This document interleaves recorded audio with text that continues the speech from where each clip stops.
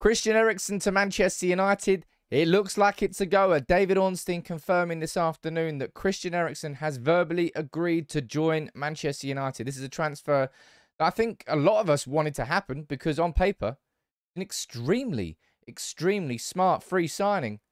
I see it as a supplementary signing, not a replacement for De Jong. We'll get into all of that. But David Ornstein here confirming it. I decided not to go live. I'll be nice and concise and short with this one. I know we, we went live this morning. And maybe a lot of you got busy days. And it's a busy week for Manchester United. So I want to keep this one short and sweet. A bit like Christian Eriksen. Look at that. I didn't actually plan that one. But Christian Eriksen has verbally agreed to join Manchester United. Let's run through the news from David Ornstein. I want to give you my opinion on it as well. Christian Eriksen has verbally agreed to join Manchester United. The Athletic understands. Eriksen has communicated to United that he wants to play for the Old Trafford club and is prepared to accept their proposal of a three-year deal.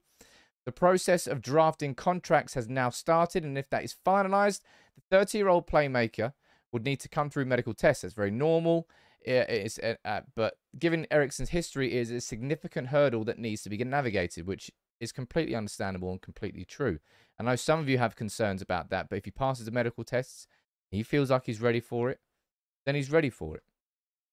And we go through that. We we know what what happened in terms of what happened with Denmark and what happened after, and how he's reached this point. But what's your reaction to the idea of signing Christian Eriksen? Because for me, I like it. I like it a lot.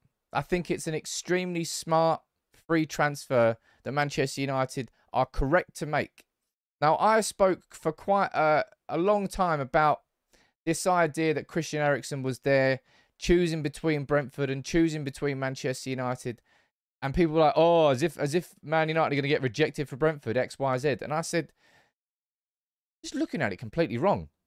He had two choices in his mind. One, stay in London where his family is settled. Decent Premier League club, Brentford. Hopefully they stay up. I'm sure they will. I like them. Play good football. Happy in London. Cool. Lifestyle choice if he stays at Brentford. Or does he chase his ambition? The, the same ambition that um, Cristiano Ronaldo is questioning, ironically, at the moment. And Christian Eriksen has chosen to back himself to be a success at Manchester United, to back himself to go, right, I can and I am capable of still doing it at the very top level. And that is why he has chosen Manchester United over Brentford, as confirmed here by David Ornstein. And I think this is a very good move for Manchester United. I think it's a very good move for him as well. I hope it turns out into a good move. I think this is the sort of move that gives Manchester United more options in that area of the pitch. We're obviously going to be switching our style of playing midfield this year. And Frenkie de Jong is the king of that. He's the man that's going to make all the difference. So uh, fingers crossed that deal does go through. And there's going to be a lot of videos that I've done that are going to blow up in my face in the wrong way if we don't sign him. But that's a different conversation. But Eriksen of a similar mould to Frenkie de Jong, somebody who's extremely comfortable in possession, somebody who wants the ball to his feet, somebody who will ask for it, who will show for the ball. And that's not really something you can ever say about the majority of Manchester United's midfielders.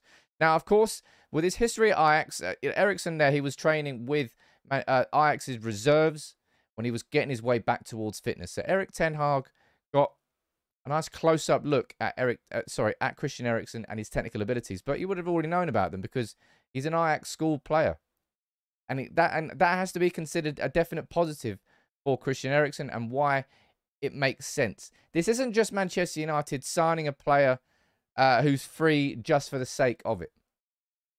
I think this is Manchester United signing a player who not only is free, and that's a that's a huge bonus. Manchester United effectively we've let Juan Mata go and we brought Christian Eriksen in. And I think that's a squad upgrade. It's not the be all and end all of our summer, right? It's what I would call what I would call as a supplementary signing, and I don't mean that in a disrespectful way to Christian Eriksen, but he doesn't move the needle on his own. I think what we've done there is we've brought someone in with great experience, great quality, who will know the Erik Ten Hag style of play and will only help towards getting that system embedded into these players, making them play differently, making them think differently. And a player like Christian Eriksen, as I said, because of his history with Ajax, because of the fact that Erik Ten Hag knows him, he's seen him there firsthand training with the Ajax reserves, and because he was schooled in the academy, there's going to be a lot of the coaching and, and the system that Erik Ten Hag brings in that he'll be able to do naturally. He won't really have to coach it into Christian Eriksen. It will just work with him straight away. And yeah, as I said, I, I, I think a lot of people wanted to try and point at United and laugh and say, ah, oh, as if he's sitting there choosing between United and Brentford. Look how far United have fallen. I don't think it was that at all. I think he's just taken his time as a free agent, which he's absolutely entitled to do. That's he's a free agent. That's exactly why you let yourself become a free agent. You look at the offers that you get in front of you and you go, which one suits me more? And he's chosen Manchester United. That's, that's an indication of the ambition that he still has. Remember, he's 30. Now, of course, the big question is going to be around his fitness and his health. But he looked pretty damn good at Brentford when he went there for that second half of the season. Brentford would have loved to have kept him. I'm sure they would have. I reckon Spurs would have loved to have him back as well, but Spurs decided to go elsewhere. They've decided to focus elsewhere. And Man United have got, I think, there a very smart and very shrewd free transfer signing that I think will hopefully add a nice edge to this summer transfer window, if you want to call it that. He will bolster the squad in a position where we're just massively weak. Because we all know full well exactly where Christian Eriksen is going to play. Let me pull up the tactical board here and we can have a little conversation about that. Because we know exactly what sort of midfielder he is. And I tell you what, he's got some serious versatility to his midfield to his game as well. If I was to one set there, let me just remove here.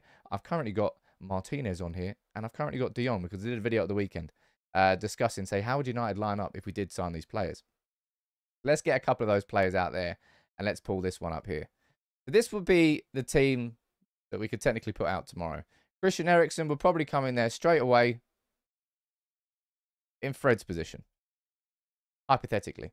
We know full well that Eriksen can play alongside McTominay or Fred or De Jong, realistic. Probably not alongside De Jong, kind of a similar sort of player.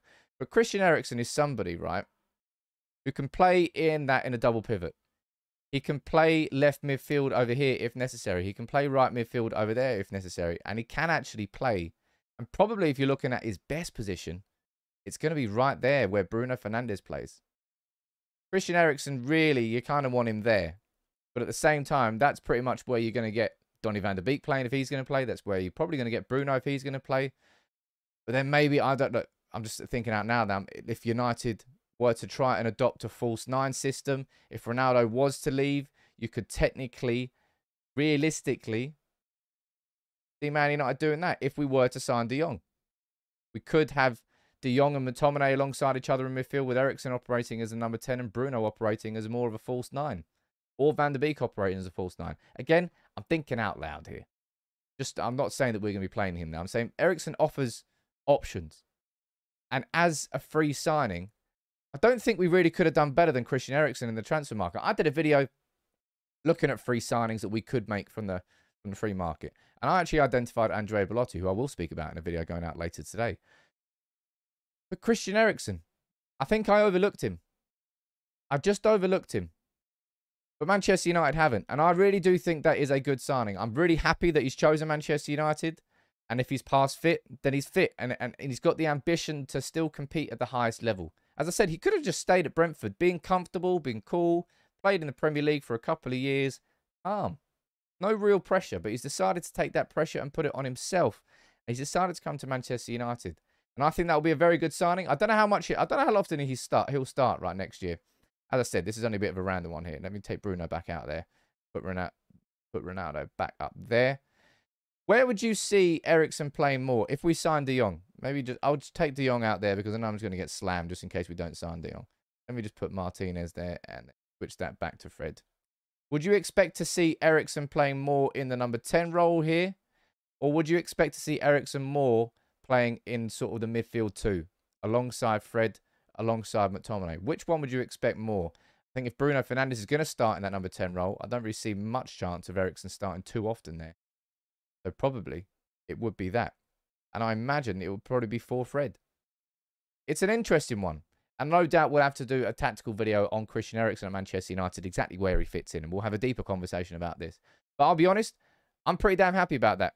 I think that's a good signing by Manchester United. I think it's a smart signing by Manchester United. And hopefully we'll get that done and maybe even get him on the plane for the preseason tour. Why not? What's your reaction? You let me know in the comments below. As I said, I could have gone live, but I think we'll keep this one short and sweet because I've got another video going out this afternoon looking at Cristiano Ronaldo replacements. So it's a busy, it's always going to be busy for Manchester United, but it's just, it's cranking up another level. But Christian Eriksen, he's agreed to join the club. You let me know what you think about that in the comments below, but I'm pretty damn happy. I think that's a really good signing.